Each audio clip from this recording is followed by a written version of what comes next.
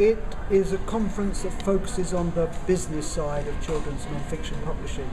So rather than the art and craft of writing and illustrating, which other conferences do, um, we do have some of that content, but it's really um, an opportunity for everyone involved in the industry to learn from one another.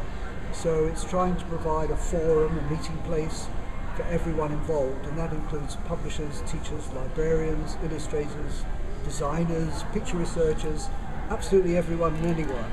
Um, we would encourage them to come to exchange thoughts, ideas, and, and particularly now in the digital world, for them to find new ways of, of presenting children's non-fiction. Um, I, am a firm believer that no one has the ultimate secret of success, and, and particularly in the digital world, we all need to um, respond to changes. I mean, kids have different aspirations now than we did. Um, they have different needs. They have different ways of gaining information, receiving information, um, and it's up to us to respond to those challenges. And I don't believe any of us know the best way of doing that. And what the conference is trying to do is to help us all to um, find out what each other's doing. And you know, as a, as a print publisher, you should be looking at how you can get your print products online.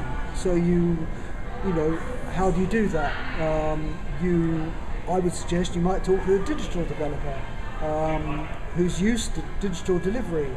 Uh, they don't have the content you do, but they have the way of getting it to market.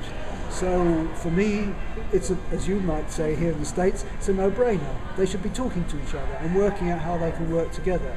Similarly with authors and illustrators. Um, traditionally you would work for one or two illustrators, uh, for publishers.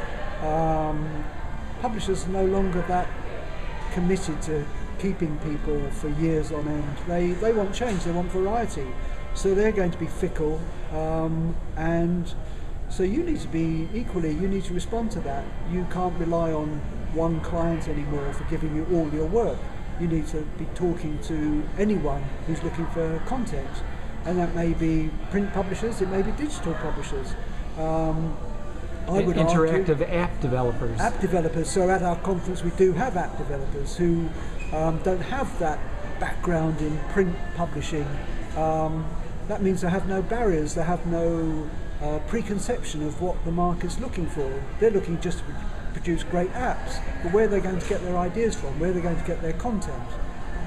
They could talk to authors and illustrators whose life depends on coming up with new ways of looking at old subjects. So that's what the conference tries to do. It tries to bring people together.